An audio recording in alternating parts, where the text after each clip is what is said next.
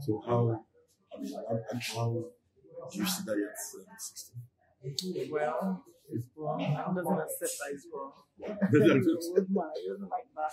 But yeah, it's wrong. And yeah, I'm very happy that he got to celebrate himself. He's never had like a party like this.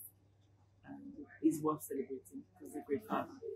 I really, really admire him. And yeah, it's such an inspirational person to and that's why I'm here. What's your wish for him? Sorry? What's your wish? I wish him many more years, of course, and he shouldn't die anytime soon. 90, 100, you know.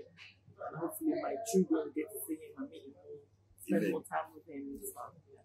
So how do you enjoy London? What do you do in London? What do I? What do you do in London? What, Oh, um, at the minute I run an online boutique. I sell clothes. Um, well, yeah, my clothes. And right now, I'm a customer service agent for COVID 19 with the NHS. Mm. That's what I do right now. so how are you enjoying what you do? Well, I've only just started the job, so it's quite good and fun. Just get to speak to people, get to find out how they are, how COVID is affecting people and stuff.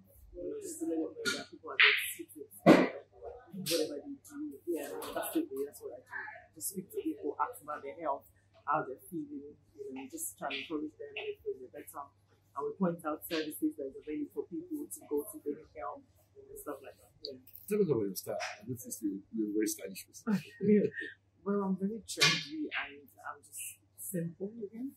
So I don't like, I'm just plain and simple. I think that's my style. Very plain and simple. I'm very trendy. So how do you evolve your style? How do you evolve? I think that has to be my dad. I'm not gonna lie. Uh, because when I was growing up, he would just dress up and just wear expensive things. And I'm like, How can you buy a pair of socks for like 50 pounds or $50? Eh, but now that I'm gonna find myself doing the same thing that I keep complaining about. But yeah, I think it's just a lot to do with my dad, to I think a lot of my personality as well is from my dad. When it comes to fashion, like I like to just dress up look good. I that's my mom doesn't do. She's just simple.